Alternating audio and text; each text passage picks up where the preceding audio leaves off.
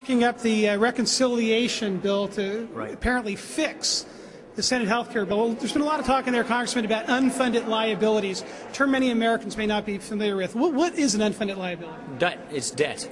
It's promises the government is making to people that it cannot afford. It's empty promises.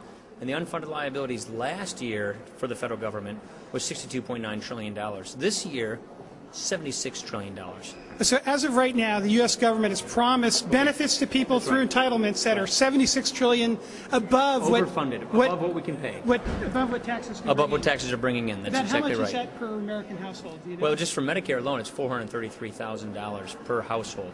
So that's just for Medicare alone if we don't get our handle around the situation. So we're talking, you know, hundreds of thousand dollars per household just to fill in the gap between what money's coming in and what money we promise will go out. okay, and this is before we pass a health care bill. Yeah, that's that's the existing structure. That's that's the current state of the play before you create this new entitlement. Okay, now, a couple of weeks ago, the uh, Congressional Budget Office scored uh, President Obama's fiscal 2011 budget. Hasn't got a lot of publicity, but I put down the numbers here in terms of deficits. Right. Uh, we got 1.412 trillion last year, 1.5 trillion this year. The lowest it ever goes is 724 billion. Then it starts going back up, as you can see. You know these numbers Yeah. real well. And, and what these numbers, uh, what really matters in these numbers is how big are these deficits relative to the size of our economy and our ability to pay for it.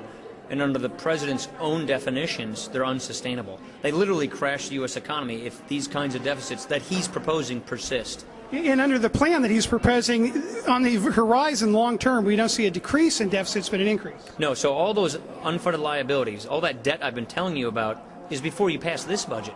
That's if, if, if we don't pass the budget. If you pass the Obama budget, it just gets worse. He doubles the debt in five years and triples it in ten. In 2008, the last year President Bush was in office, the deficit was 458 billion. Under President Obama's budget, will there ever be a deficit that low again? No, and when the last year Republicans controlled Congress, the deficit was $164 billion.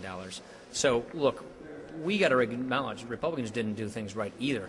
But we're talking orders of magnitude now that are uncomparable as far as the debt and the deficits that are being piled up right now.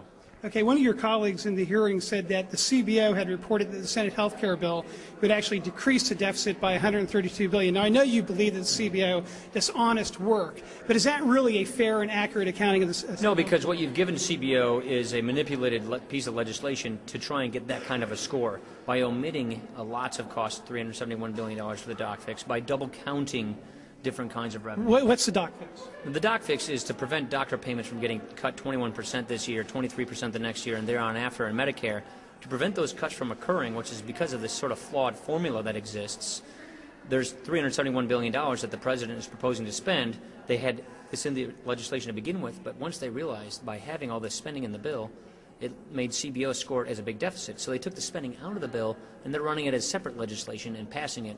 And the point is, they're not measuring all the costs that are involved. So if you add the doc fix back in, this goes into deficit Goes by into deficit. I'll be walking through this in a minute. And we have a motion to instruct right now coming up, and I'll bring up a chart. Jeb Hensarling and I are going to bring up a chart to, to untangle this web here to show just how this thing creates, creates a deficit. So bottom line, Congressman, last question. They pass this health care bill. Not only do we have the $1.2 trillion deficit 10 years down the road, the Obama budget shows now it gets bigger. That's right. And, this, and this, the cost will explode under this new entitlement.